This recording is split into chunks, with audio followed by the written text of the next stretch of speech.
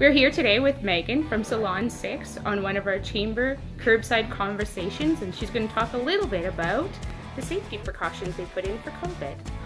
Well, thanks, Elise. We're so excited to be back serving our community.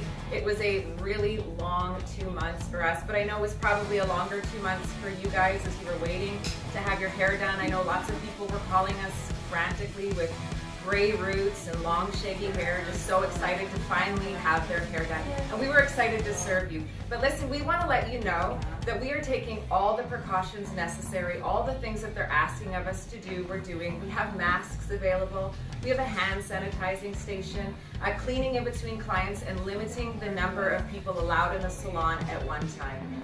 All of the things to make sure that you and our community are kept safe.